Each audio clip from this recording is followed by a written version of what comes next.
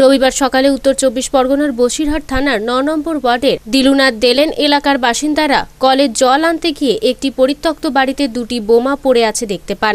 এলাকাবাসীরা থানায় খবর দিলে পুলিশ ঘটনাস্থলে উপস্থিত হয়ে বোমা দুটি উদ্ধার করে নিষ্ক্রিয় করে। নমস্কার, আনন্দ বার্তায় আপনাদের স্বাগত।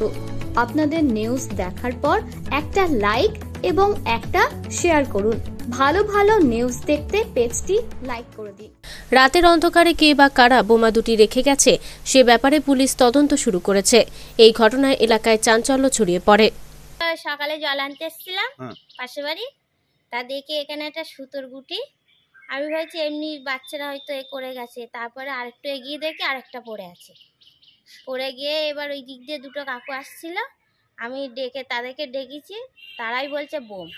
তা বলল পুলিশকে ফোন করতে। মানে একদম ভরা রাস্তার উপরে এই জনবসতি এলাকায়? হ্যাঁ এই তো। একদম গায়ে।